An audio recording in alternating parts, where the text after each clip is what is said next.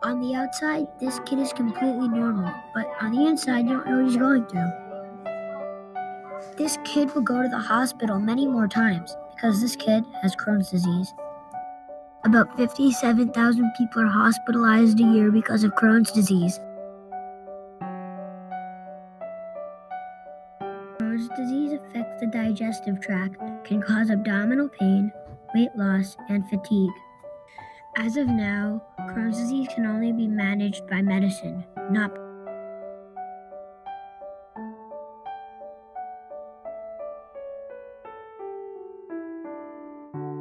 How are you exactly supposed to do that?